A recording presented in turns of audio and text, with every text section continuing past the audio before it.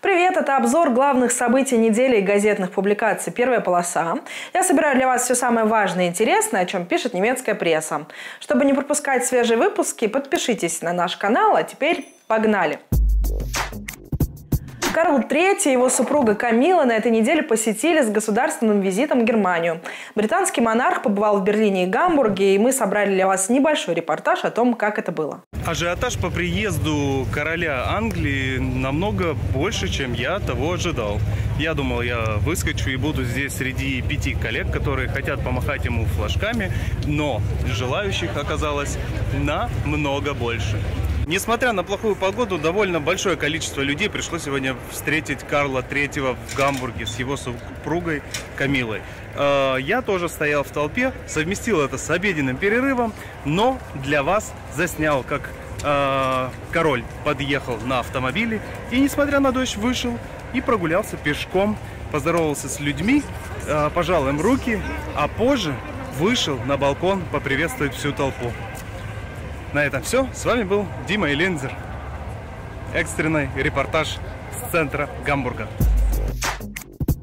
Криптококковая инфекция распространяется по всей стране, констатируют врачи. Сильнее всего болеют дети до 7 лет. В марте почти треть обратившихся к врачам пациентов болели скарлатиной. Симптомы – нечто похожее на кишечный грипп – тошнота, рвота, больное горло, температура и высыпание на коже. Инфекция быстро распространяется воздушно-капельным путем, и иммунитет не вырабатывается, поэтому один человек может заболеть несколько раз. Врачи говорят, лечится скарлатина, в общем-то, быстро. Простые антибиотики поднимают больного на ноги уже через сутки. Но вот проблема поставки пенициллина в аптеке с конца прошлого года так и не наладились, поэтому за лекарствами многим пациентам приходится серьезно побегать. Продолжение темы здравоохранения. Получить больничный по телефону больше нельзя.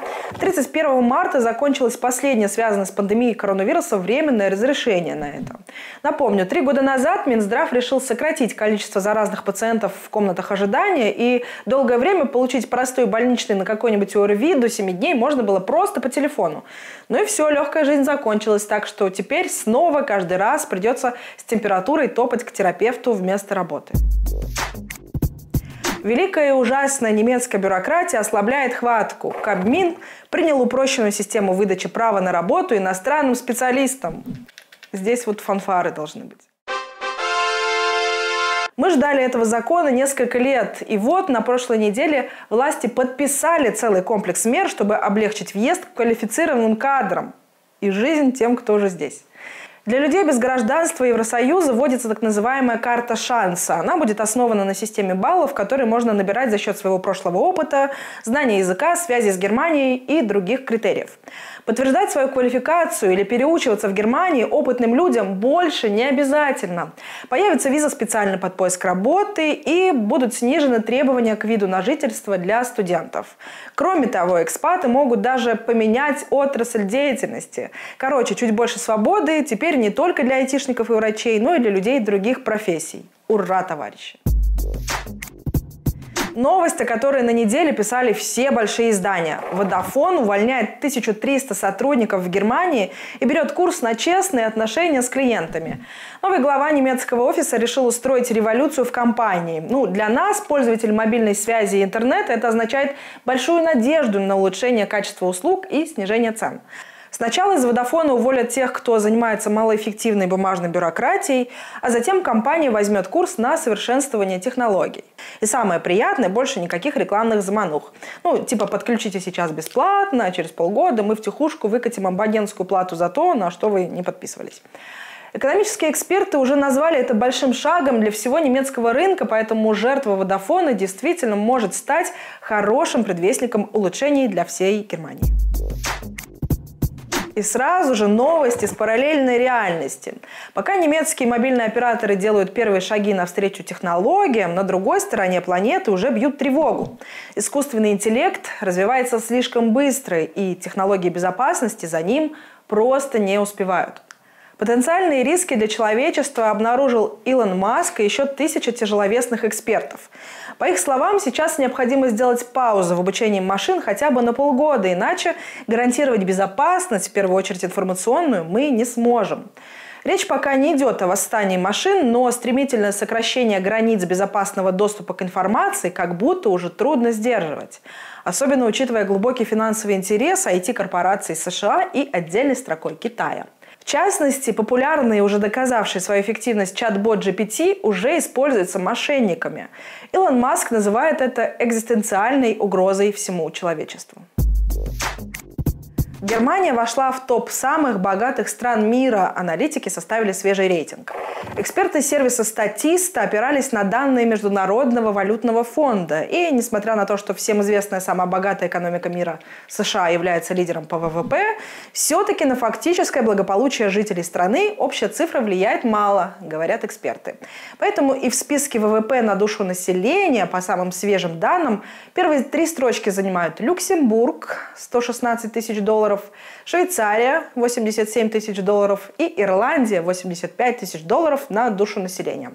Штаты в этом списке оказались только на пятом месте. Там на одного жителя страны приходится 63 тысячи долларов от ВВП.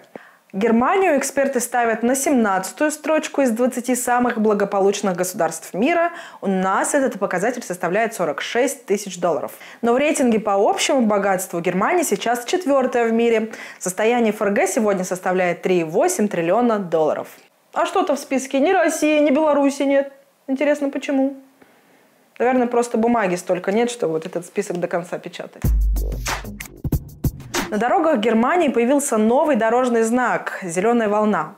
Это цифровая панель, которая состоит из двух обозначений – рекомендуемой скорости и, собственно, пиктограммы, которая обозначает зеленую волну. То есть, если водитель будет придерживаться указанного на табло скоростного режима, то на следующем светофоре он может рассчитывать на зеленый сигнал. Преимущество нового знака в том, что показатель может меняться в зависимости от загруженности или вовсе отключаться в случаях заторов на дорогах. Страстная неделя в Германии. Важные дни не только для верующих, но и для людей светских. Новая рабочая неделя будет короткой. В пятницу во всей стране объявлен государственный выходной. И следующая неделя начнется только со вторника. Длинные пасхальные выходные – это не только повод навестить родных, но и посетить народные гуляния, например, пасхальные костры.